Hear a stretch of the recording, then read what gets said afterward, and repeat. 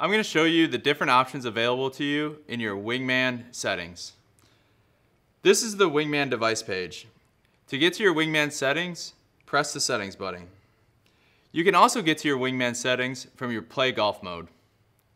In the Wingman settings, there's a brief tutorial about golf mode at the top, as well as music mode. Below that, we have our speak settings, where you can select a voice.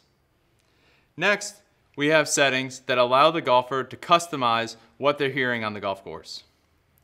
We have start round message, auto hole advance message, water hazards, hole number, and par that can all be given when you press the button. The next few settings talk about the distances that you'll get when you do push that button. Right now, I have my yardages set to front, center, back, and always on.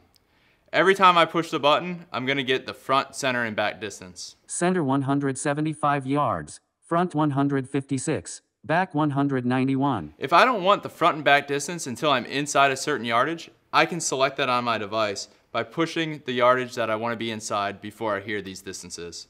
I'm gonna select inside 250. The last setting allows you to customize a message to your fellow golfers. Nice shot. Play golf with Wingman.